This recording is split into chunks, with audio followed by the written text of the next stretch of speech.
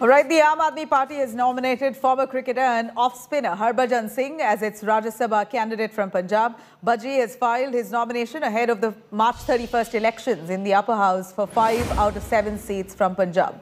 In Chandigarh, while filing for his candidature, Harbhajan said the party has also nominated AAP MLA and spokesperson Raghav Chadda along with academician Sandeep Pathak.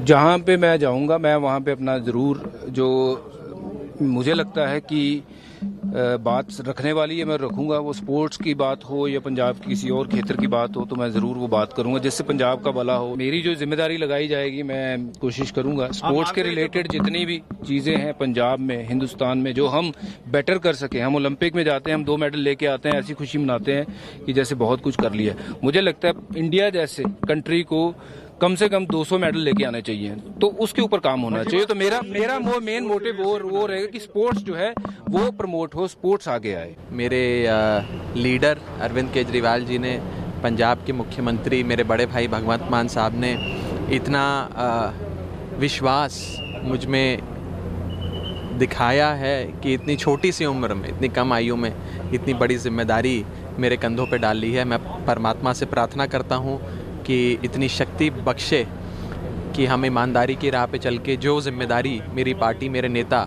मेरे leader, मेरे mentor Arvind Kejriwal ji मुझे दे रहे हैं, मैं उसे बखूबी निभा सकूँ।